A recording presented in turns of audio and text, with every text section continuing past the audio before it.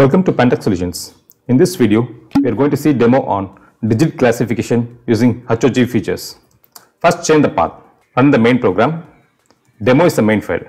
Once you run the program, the graphical user interface pops up. Click load database to load the dataset from the folder. Click training. Once the training process is completed, you can choose an input image to test the algorithm. Click classify.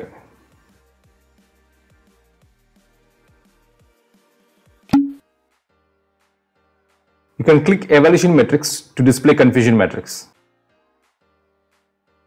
If you would like to buy the source code or if you want to modify the source code, you can reach us by clicking the link in the description box. Else you can send a message to the WhatsApp number. Thank you.